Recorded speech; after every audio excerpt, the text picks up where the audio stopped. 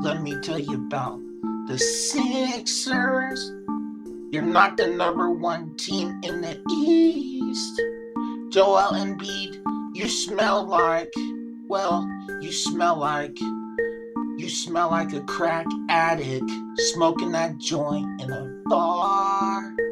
And Ben Simmons, you smell like, well, you smell like Frosties from Wendy's. The Sixers, well, Sixers are trash. Doc Rivers, you suck.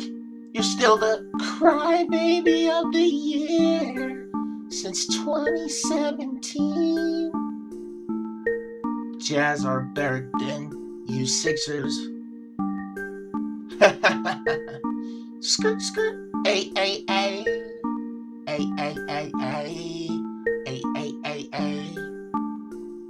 Sixers are a bunch of crack addicts. Oh, by the way, you Sixers fans, I'm coming at you.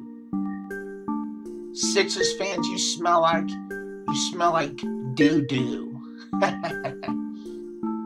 hey, hey, hey, Don Mitchell and Rico Bear are gonna bust you wide open. Joel Embiid, we're gonna dunk on you. By the way, Embiid, didn't you get dunked by Mitchell?